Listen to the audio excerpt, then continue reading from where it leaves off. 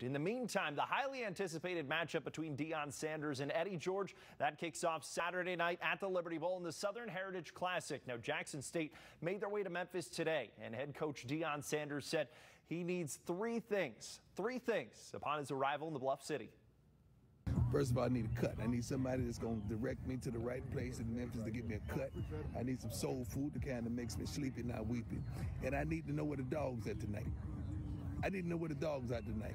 No, no, not tonight. Tomorrow night. I need to know where the dog's at tomorrow night because I'm going to go recruit and watch some good high school football. And I'm offering at least two, three kids scholarships on spot.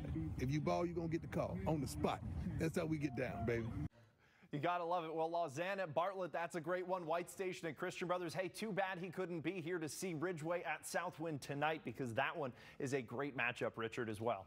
I don't even know where to start with Deion. Some, some great you lines never there. do, but that's what's great about it.